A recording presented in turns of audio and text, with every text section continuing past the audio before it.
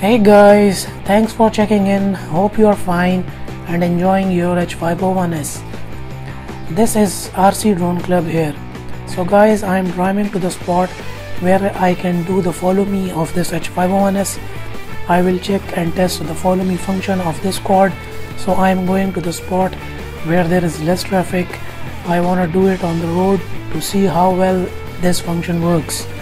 So the concept here is that I will put H501s in its GPS lock uh, and then put the transmitter on my trunk of the car and put into the follow me mode and then we'll start driving. So uh, I know it sounds crazy but I'm excited to do this. So let's see how it performs.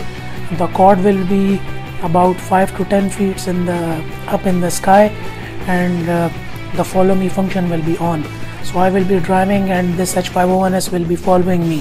So let's see. I'm excited to do this. Let's see how this uh, test goes. So I will catch you guys in a minute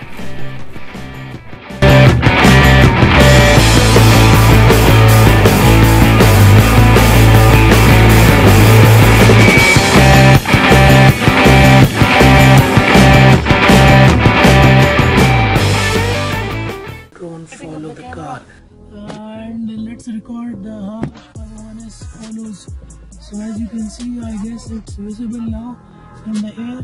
Yes now it's visible. Uh, so guys this is the drone and this is the transmitter. I'm gonna put this transmitter on my trunk on my car trunk. So you can see this is now here now i'm gonna set the camera to record the follow me function. The follow me first. Yes, follow on.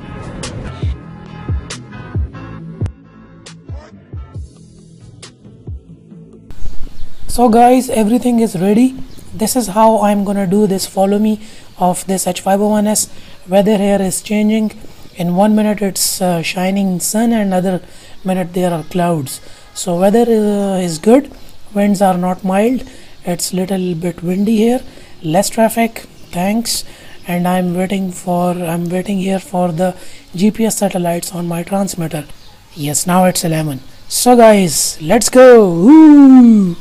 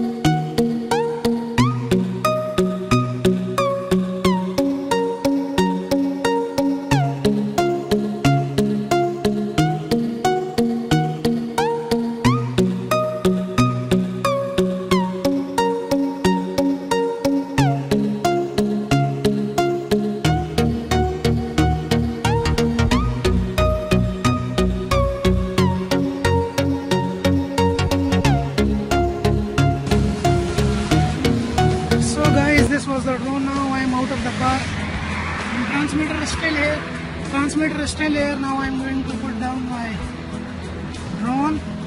Yeah, it's, it's recording. I've came approximately one kilometer here